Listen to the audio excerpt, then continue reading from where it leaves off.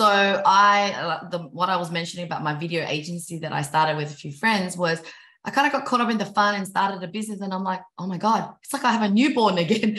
and then it's a, it's like you know I've already had grown up kids, you know, which is my business that's established and it runs without me. And I kind of was like, you know, in a good place.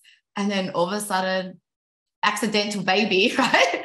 And then you kind of really back to startup phase. And I realized that no matter how experienced you are in business, you're launching a new business and you're always constantly pivoting the service offering, trying to, you know, get new people to know about your product. And it's just as much of a hustle as it was, you know, starting my first business ages ago.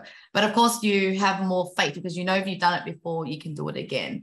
But it definitely takes a lot of lot out of you, right? Because you because I'm also in that position where I'm like, I don't have to do this because I already got a business and it pays me. So why am I doing this?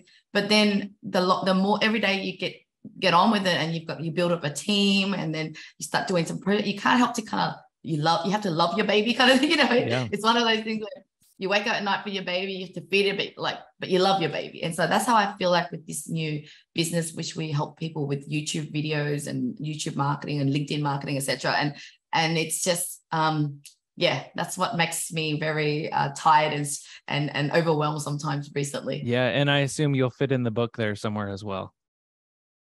Oh, yeah exactly right? And so there's still some passion projects that i'm at a place where i really want to give back. So i have a youtube channel where i'm always sharing content about even how to start an outsourcing agency how to work on at home because i don't want to die with my secrets. I, I want more people to start a company and hire more people, whether it's from developing countries or wherever, right?